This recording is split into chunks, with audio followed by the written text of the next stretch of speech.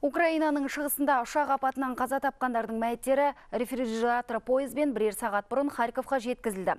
Олар бүгін ақ Нидерландыға арнайы ұшақпен әкетілуі мүмкін. Бұған дейін Донецк Халық Республикасының билігі құлаған лайнердің екі қара жәшігін малайзиялық мамандарға тапсырды. Оқиғаның нақты уақытын, лайнердің ұшу биіктігі, координаты мен бағыты туралы толық ақпарат беретін құрылғылар жақсы күйде сақталыпты. Ал біріккен ұлттар ұйымының қауіпсіздік кеңесі 298 адамның өмірін қиған апатқа қатысты қарарды бір ауыздан қабылдады. Ол резолюцияға сай бойын құлаған жерде дереу соғыс тоқтатылып, халықаралық деңгейде тергеу жүргізілуі тиіс.